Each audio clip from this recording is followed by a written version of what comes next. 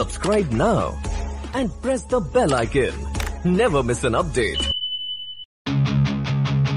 We do it now. We do